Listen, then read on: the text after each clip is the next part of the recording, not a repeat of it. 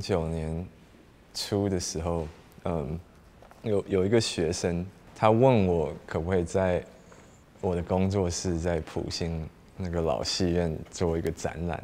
开始决定要做这个事情的时候，就我们就常常跑到海边去搬东西。有一天我们搬上车之后，嗯，那个陈太华他说：“哦，那个刚刚那个雨欣妈妈的朋友一个欧巴桑问他的妈妈说，你那个男朋友是在做什么？”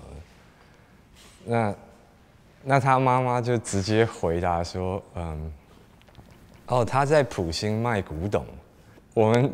就觉得很好笑，因为我们在滨海公路上开车，那我们整车都是垃圾，就是海边捡来的莫名其妙的物件。结果我们就说，哦，那我们应该开一个公司，真的来卖。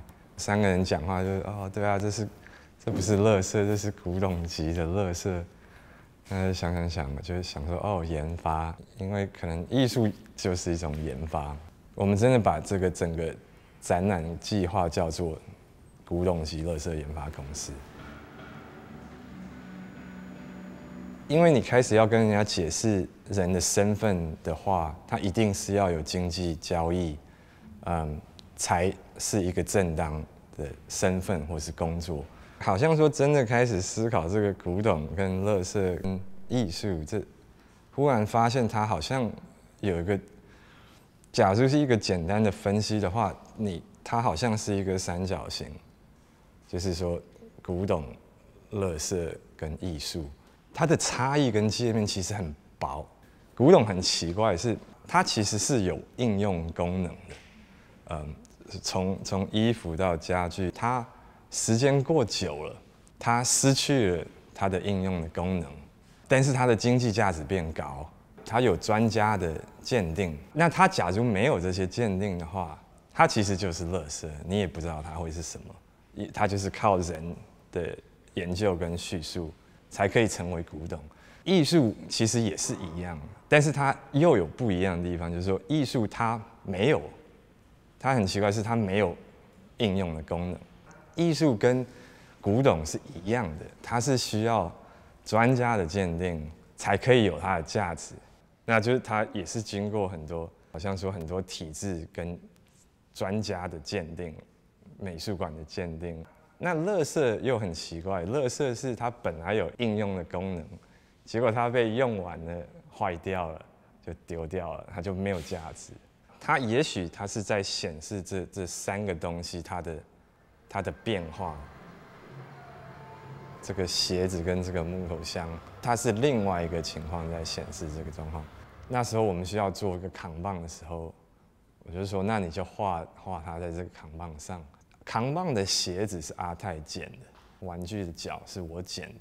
他就把那个脚刺进鞋子，他先拍照，拍完照他是投影上再去画，把那个形状画出来。真的是从一个废弃物，它变成了一个物件的组装，之后再变成摄影，变成摄影之后再变成绘画。我们是好像是想要想要透明化这个这个 process 跟这个过程。让你看到这个东西的变化的可能性，在这个现场你看得到很多不一样的例子，在这三个三角形的变化。这个作品叫做一个公司嘛，我们现在就是在公司里面展示区，那外面就是我们的工厂，所以外面就是很多素材，我们用的一些原料跟在进行中的一些计划。也是有一些未完成，有些是在测试。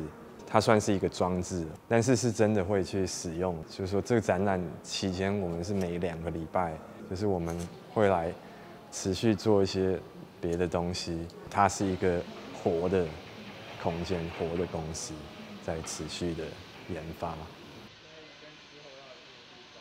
其实计划叫做古董级乐色研发公司，在二零六。